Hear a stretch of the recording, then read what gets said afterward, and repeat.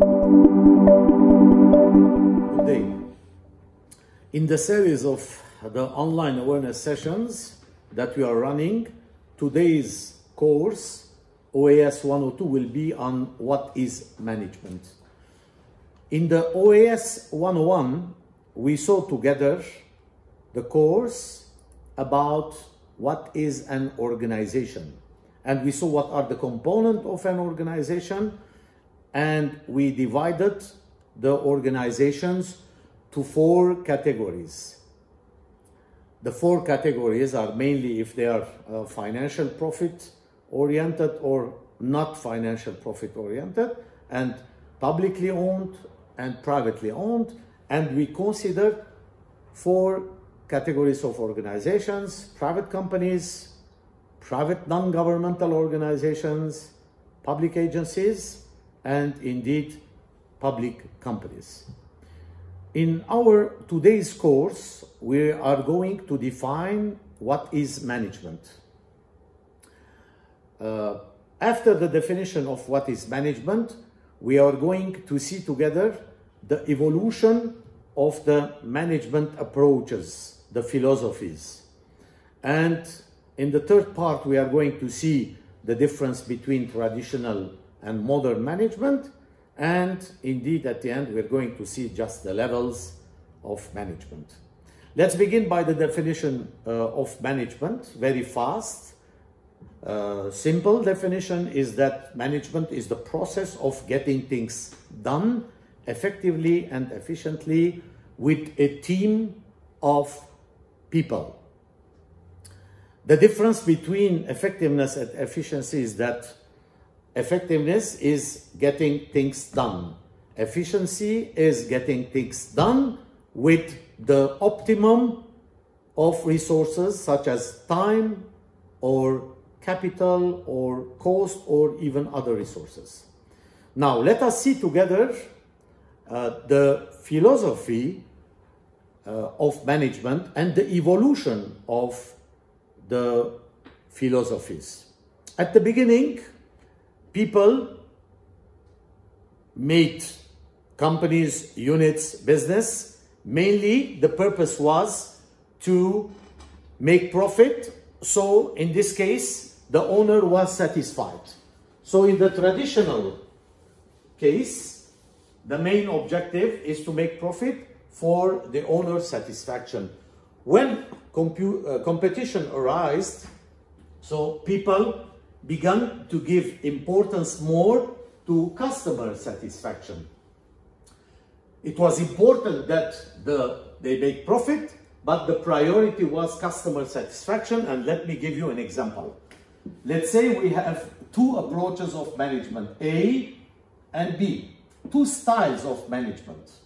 If one manages his organization with the style A, at the end of the exercise, let's say 2020, he will make a profit of 1 million units, whatever it is, and the customer satisfaction rate is 32% if we measure it. And in the case of style B, it might be, let's say, as an example, 730,000 instead of 1 million here, and the customer satisfaction rate, let's say, it would be 59%. So the logic of the traditional management goes, gives priority to making profit. And the logic of the B, the modern management, goes more to make an investment of 270,000 in order to increase customer satisfaction from 32% to 59% the new category of thinking, of management, of managers, of leaders arise in the last uh, 30, 40 years, and we call them visionary leaders. And their management style is to take into consideration, indeed, the owner's satisfaction, the second, the customer satisfaction, but also an important a part of the organization is employees satisfaction. Managers, employees should be satisfied in order to continue the development of the organization on a sustainable basis. Then indeed we have the partners and suppliers and the society satisfaction, mainly if uh, we can give the example of the CSR, for example. Those, we call them the stakeholders, the organizations. So in the first case, it's the traditional management, where the priority is given to the owner's satisfaction. In the second case, in the modern management, the priority is given to customer satisfaction, and we use the initials of QM for indicating quality management. All the systems and standards based on quality management, they give the importance on customer satisfaction. If it's in a hospital, it should be patient and family members. If they are a public organization, there should be the citizens and in the private organizations, the customers, the consumers should be satisfied. And in the case of the visionary organizations, we consider the TQM as total quality management where all the stakeholders should be satisfied. The third point that I'm going to share with you in, this short session on what is management, this is the traditional management thinking based on four initials, the PODC, planning, organizing, directing or leading, and controlling.